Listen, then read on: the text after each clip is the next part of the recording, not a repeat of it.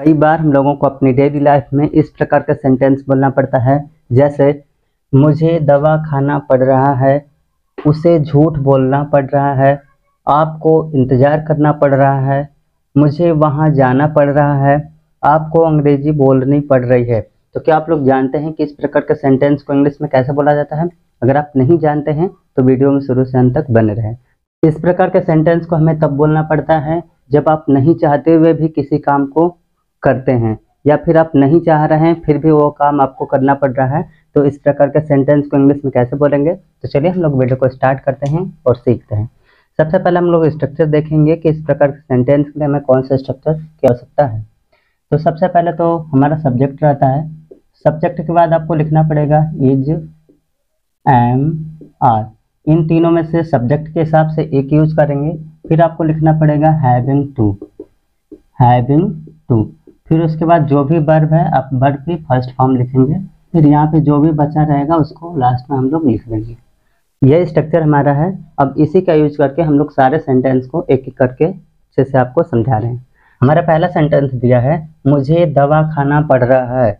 मुझे मतलब आई आई के साथ क्या यूज़ होता है? एम फिर आपको लिखना है हैविंग टू तो हम लिखेंगे हैविंग टू फिर उसके बाद लिखना है, जो भी वर्ब है वर्ब की फ़र्स्ट फॉर्म यहाँ पे देखिए, दवा दवा खाने की बात हो रही है तो खाने के लिए हम लोग टेक का यूज़ कर रहे हैं।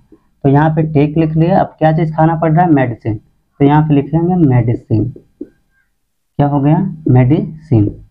तो ये सेंटेंस हमारा बन गया है। मुझे दवा खाना पड़ रहा है तो इसका इंग्लिश हो जाएगा।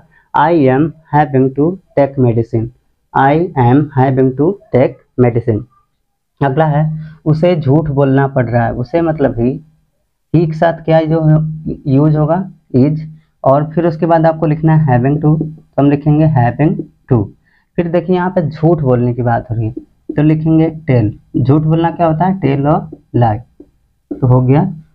इसका पूरा इंग्लिश बन जाएगा he is having to tell a lie he is having to tell a lie आपको अगला दिया है, आपको इंतज़ार करना पड़ रहा है। आपको मतलब आप यू यू के साथ क्या यूज़ होगा? आर फिर आपको लिखना है हैविंग टू तो लिखेंगे हैविंग टू फिर उसके बाद आपको वर्ब लिखना है। वर्ब हमारा दिया है इंतज़ार करना मतलब वेट तो हम लिखेंगे वेट बाकी इसमें कुछ है नहीं तो छोड़ देंगे। आपको इंतज़ार करना पड़ रहा है, इसका पूरा इंग्लिश में जाएगा।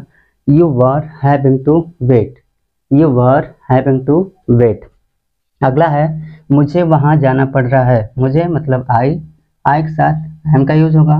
फिर आपको लिखना है हैविंग टू लिखेंगे हैविंग टू अब जाने की बात हो रही है तो लिखेंगे गो अब वहाँ तो वहाँ की मीनिंग होती है देर तो इसका पूरा इंग्लिश हो जाएगा I am having to go there I am having to go there मुझे वहाँ जाना पड़ रहा है। अगला है, आपको अंग्रेज़ी बोलनी पड़ रही है। तो इसकी इंग्लिश क्या होगी? आप लोग कमेंट करके बताइए।